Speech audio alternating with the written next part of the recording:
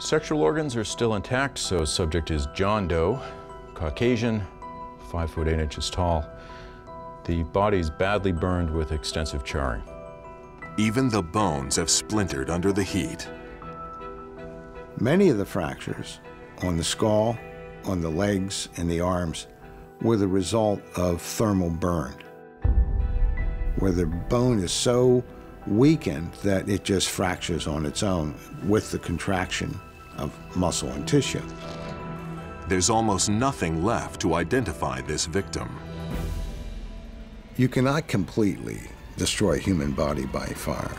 Whatever is left is enough to tell me the story. Graham, it appears there's still some skin remaining on the left thumb. Great. Uh, you think you can get that off?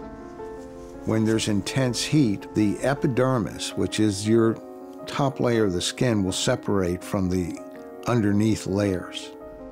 And you can actually remove that skin, which has the fingerprint on it. Great, excellent, very nice. In this case, we actually had the opportunity of retrieving a thumbprint from the victim's hand. The way we did that was through a process called gloving. I could put my own gloved thumb into that removed skin and give a roll print.